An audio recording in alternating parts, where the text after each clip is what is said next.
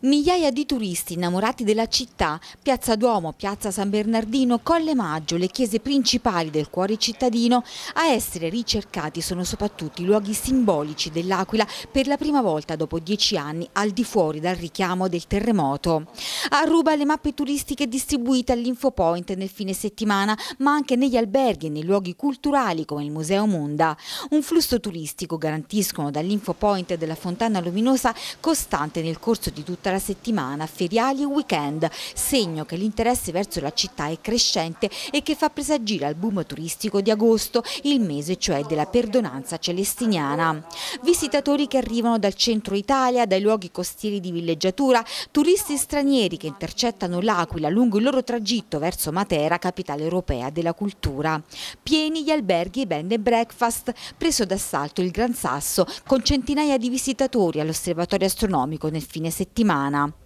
Giorni inizieranno anche le manifestazioni che riguardano proprio il Gran Sasso, stiamo vedendo anche le manifestazioni molto belle, molto interessanti che riguardano poi il territorio della città e che sono comunque tutte quante molto significative di una vivacità eh, da parte della, degli stessi cittadini e anche da parte degli, dei giovani. E proprio oggi porteremo in giunta una delibera che consentirà lo spostamento temporaneo del punto informazione turistica che è anche IAT perché abbiamo fatto appunto da, recentemente questa eh, delibera delibera di inclusione nel sistema regionale di accoglienza turistica, eh, lo sposteremo temporaneamente eh, nel manufatto di cristallo che sta appunto a Capo Piazza Duomo, per, proprio per consentire durante i lavori di mh, ristrutturazione dell'infopoint della Fontana Luminosa di continuare a svolgere il servizio di informazione. Intanto il Comune nelle prossime settimane riunirà gli operatori turistici in vista dell'autunno. È intenzione poi riunire anche il, gli albergatori e diciamo, tutti gli operatori economici del turismo